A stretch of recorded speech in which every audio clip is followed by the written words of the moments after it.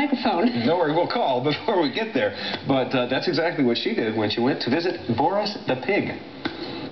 On daytime, we encourage our audience members to send us pictures that we can show on the air. That's Boaris! Look at this. So when I asked viewers to show off their unusual pets, Like a dog. we received photos of Boaris, the Vietnamese pot-bellied pig. I think we're going to have to bring Boaris on the show. Yep.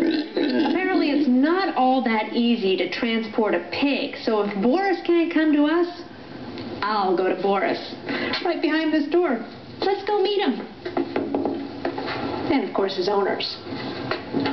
Hello. Hi. Janet? Yes. Nice to meet you. Nice I'm to meet Cindy. you. Come on in. Hello. This is my husband James. Hi, James. And this is Boaris. And this is the pig of the hour. Hi, Boaris. Hi, Winky. Hi, Winky. Is Boaris shy? Hmm, I'm thinking maybe not the way he's looking at the camera there. He's such a ham. Boaris shares the house with two cats and two dogs. Ironically, the bulldog is actually named Pig. Janet and James Lisk love all their pets, but it's obvious who rules the roost. Boaris is a mama's boy. And I spoiled him rotten while I, I was home with him for a while. And uh, Jamie couldn't even get near him. Anytime Jamie would go near him, he'd cry and he'd want mom. Um, he follows me all around the house. And he, he just, wherever I go, Boaris wants to go, including on my lap. It's a lap pig. Janet fell in love with Boaris when she saw him in a petting zoo at a Renaissance fair. She and James bought Boaris on the spot. He was quite a bit smaller when they brought him home. In six months, he's put on about 70 pounds. That was the night that we got him. Well, look, he's making himself at home.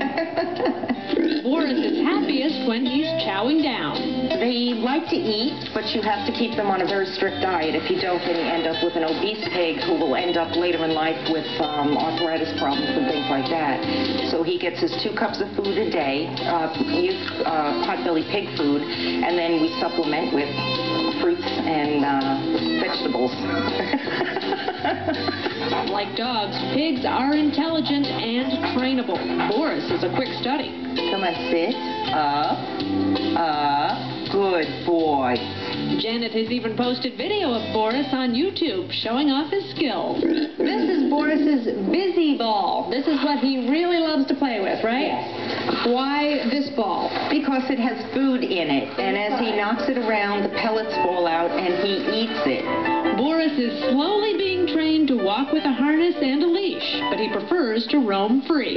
He spends his days outside in his personalized pen. When we go to work in the morning, we let him out here, and he stays out here all day. And he's got his little house, and he's got a pool, and he's baled the hay, and he just roots and digs and basically destroys everything. Life is good.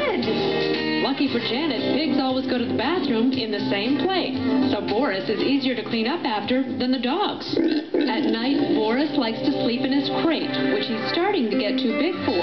Boaris knows when it's time to go to bed. Mm-hmm. If he's outside and it's about 8 o'clock, you'll hear him start crying, and he comes in, he runs into his crate, we give him a carrot, and he lays down and goes to bed. Now, when you say he starts crying, what do you mean? You want me to imitate the pig? Well, no, but I mean, does it sound like a dog when it cries? no, he actually does. He cries. It's a high-pitched kind of squealing, and pigs cry tears too. So if you don't get him in time, he will get he will cry tears. It's got to be heartbreaking. It is heartbreaking. He doesn't like the thunder and lightning either. Really? Yes, he cries, so you have to hurry up and bring him in. Oh, and give him a hug. Give him a hug. Janet doesn't know how big Boaris will actually get, but they are thinking of giving him his own bedroom soon. Can I have one? Please? Look how good. They don't shed, they don't smell bad, and they're really affectionate. Freebie may have some competition. yes, I bonded with Boaris. Oh, that's great. Thank you, Janet, very much for getting in touch with us. And of course, we invite all of you to please email us. Go to daytimeonline.tv. And if you have an interesting pet, or as Dave said, an interesting child, or